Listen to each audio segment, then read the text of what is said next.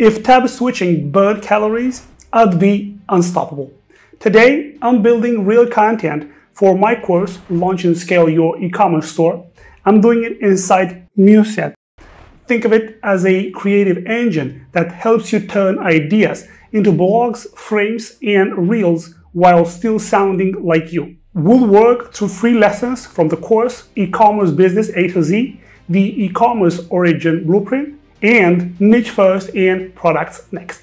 I will show you how I plan, write, and generate visuals in one place, no chaos, no copy-paste marathon. Running an e-com business isn't just list products, run ads. It's landing pages, emails, FAQs, social posts, help docs, and visuals that actually explain your products. I'll show you the exact flow I use to create those pieces faster, keep the tone consistent, and update information everywhere without hunting down 10 files. Here's the scenario for lesson 3. My target niche, remote workers who love pour over coffee but have tiny desks. The product idea, a modular desk-friendly pour over station that keeps filters, scale, and kettle tidy, no coffee chaos during Zoom meetings. This is my messy note dump. Let's turn it into something usable inside the page. There we go. Clean paragraph still in my voice. Now I want quick answers for common objections. So type insert, add a free question fact about desk safety, footprint size, and cleanup time. Instant section added, no hunting around for templates. You can open a voice and style. The sidebar panel, I trained the voice by uploading a couple lessons pages and newsletter. That's enough for Muset to match the phrasing and rhythm without sounding robotic. That pulls my glossary from e-commerce business A to Z. If I adjust a definition later, this reference stays current automatically across everything I've linked. No re-uploading, know which document is the newest drama. Let me show you why this helps once you scale. Scene A, page-wide update. We just changed from intro price from $100 to $89 on this page. Type update replace 100 with $89 across this page. Every instance on the page is updated, price tables, captions, bullets, done. Scene B, multi-page sync. I added heat-resistant silicone fit to the product spec on this page, I need that to propagate to the product page. Amazon listing draft and quick start insert. Type sync, copy the silicone fit spec to the related pages and keep specs aligned. All the related pages pick up the spec change so I don't miss one and confuse customers. Scene C, auto create pages. We are launching in US, UK, Denmark and Japan and I want localized products, blurbs nested under the main page. Type auto create, create localized blurbs, US, UK, D, and Japan as child pages under this product. Boom, organized where I expect them, ready for translation and reviews. From this single niche page, I want four assets. I want a YouTube script, a blog tutorial, a student email, and a LinkedIn carousel thread for the audience that loves workspace setups. Type generate bundle, YouTube script, 10-12 minutes with beats and cutaway cues, blog tutorial about 1300, maybe 1500 words with H2 and H3 sections on ergonomics and maintenance. Student email, 230, maybe 270 words. Call to action to watch the demo. A LinkedIn thread, 8-10 posts for the home office coffee tribe. Tone, match my samples, keep all links to glossary and specs so updates flow. These are structured first drafts. They come back with real headings and sensible flow. I still edit for punch, but I'm no longer starting from scratch. For lesson number one, I keep a living glossary, AOV, LTV, CAC, and a few operational terms.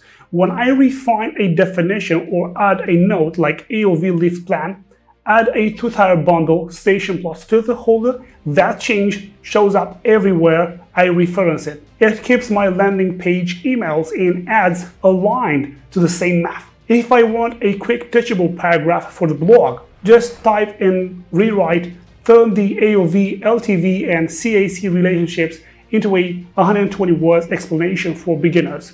Finish with a single action to try this week. For lesson number two, here's a short version of the founder story behind the pour-over station. I kept knocking over filters during calls, the copper cable looked like a trap, and the scale lived wherever it landed. The fix became the product. That's the story essence. Let's tighten it for the about page or, or the hero email. Type rewrite, keep the founder tone 100, 120 words, add one line that promises a calmer morning routine. Now I have a clean, brand true paragraph I can reuse in launch emails, the product page, and a pinned social post. Now, words sell. Visual close the loop. I want images that teach what the product does without me writing an essay on every platform. Visual A, thumbnail, hero graphic. You can type image, hero graphic, tidy pour over the tiny desk, minimal black white with one warm accent, negative space for face cutout in thumbnails. I get a few options, pick one and export. No jumping into five design apps. For Visual B, free frame explainer for carousels and reels. Type image, free frame sequence, frame 1, clutter desk pre-coffee, frame 2, a modular station assembled, frame 3, tidy desk mid-call with mug. Keep style consistent across frames. That's perfect. For a LinkedIn or IG carousel, it shows the promise without me over-explaining. For Visual C, tweak without starting over. Select frame 2, type image edit, make the cattle mate, keep the composition. Now quick iteration. Same style, no blank canvas pay.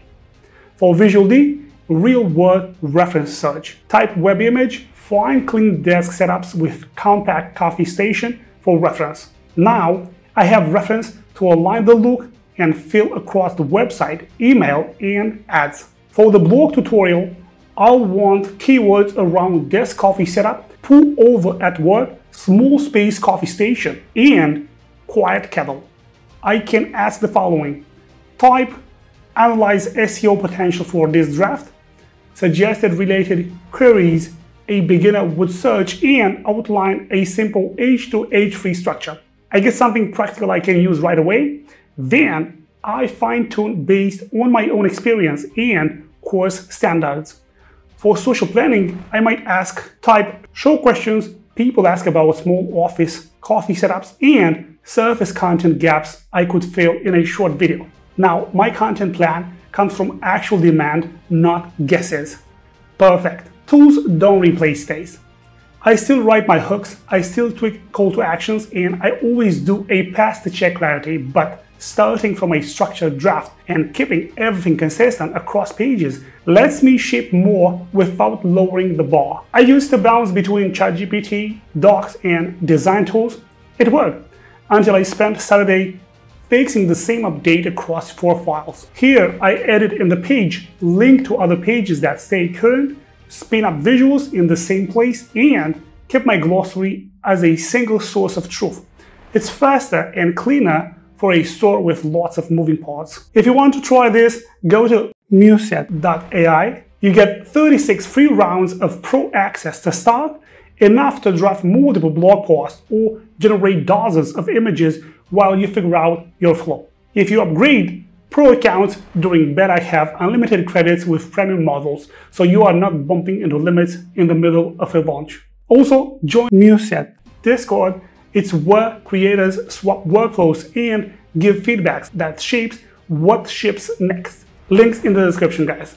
Check it out. And if you make something you are proud of, tag me. The team's always looking for creators who push this kind of workflow because long-term partnerships come from great work. Today, I showed the exact flow I use in launch and scale your e-commerce store.